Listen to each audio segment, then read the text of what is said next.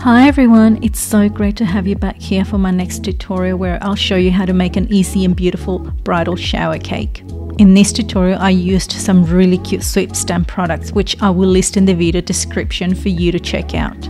I first made the fondant bridesmaid decoration to give it enough time for it to dry. You will need to knead and roll out white fondant to about 3mm in thickness and 13 by 13 centimeters wide. You can dust some cornstarch onto the rolling pin and onto the fondant to stop them from sticking. I also dusted some cornstarch onto the Outboss Stamp and Cut bridesmaid stamp to stop the fondant from sticking to the stamp and tearing when you remove the stamp. I then placed the stamp face down onto the fondant. I firmly rolled the pin over the stamp, making sure the stamp stays in place. Then I removed the stamp and used the bridesmaid's cutter to cut out the fondant decoration. Then I gently removed the excess fondant from around the cutout. I wanted to make the bridesmaids really stand out, so I painted the outlines with Sweet Sticks alcohol-free activator and their metallic luster in wedding gold. You mix small amounts of both the activator and the luster to make a paint which dries to the touch in about 30 minutes.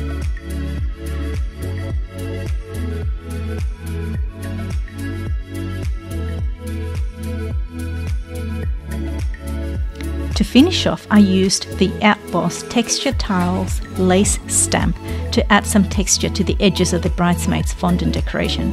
While the bridesmaid's fondant decoration dries, you can start to decorate your cake.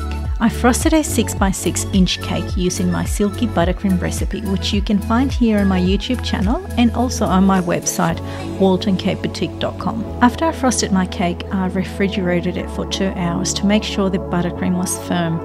I wanted to give my cake a boho feel, so I used the Sweet Stamps Marabou stencil.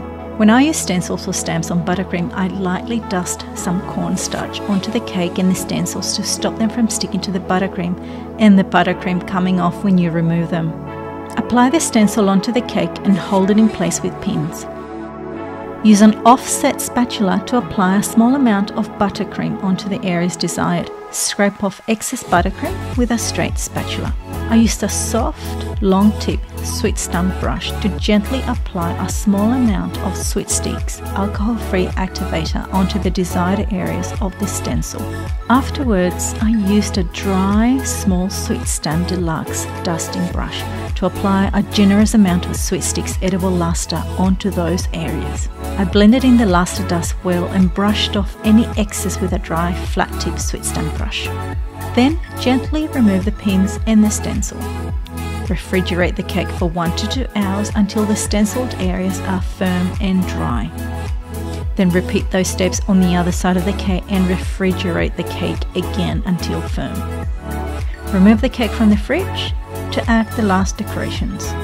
I gave the cake some texture by adding small amounts of buttercream between the stenciled areas. I used a pointed offset sweet stamp palette knife.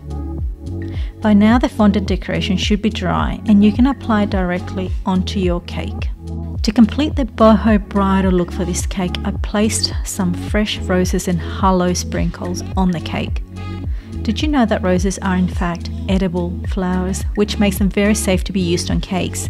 I have a tutorial showing how you can safely prepare and use fresh flowers on cakes, so check out my tutorials on my YouTube channel and the links in the video description. I hope you've enjoyed this tutorial and see you next time.